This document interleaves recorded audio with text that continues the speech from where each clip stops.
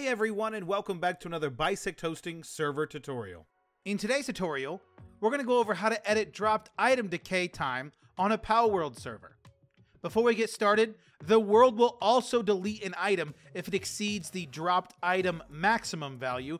If you want to learn how to edit that value, I'll have a video linked in the description. First, we're going to log into the Bisect Hosting Games panel and choose our Palworld server. Next, we're going to choose the Stop button to stop the server. We will then go to the Config Files drop-down menu and choose Server Settings. In here, we're going to locate where it says Drop Item Alive Max Hours, and we're going to change this value anywhere between 0 and 240.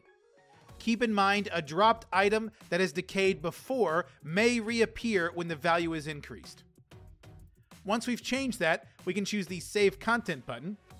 Then we can go back to the Home tab, start our server, and we'll have edited the drop item decay time on our Palworld server. If you have any questions, check out our knowledge base, bisecthosting.com slash KB, or you can submit a support ticket on our website. If this guide was helpful, make sure you hit that like button, subscribe for more content like this, comment down below which guide you would like to see next, and we'll see you around.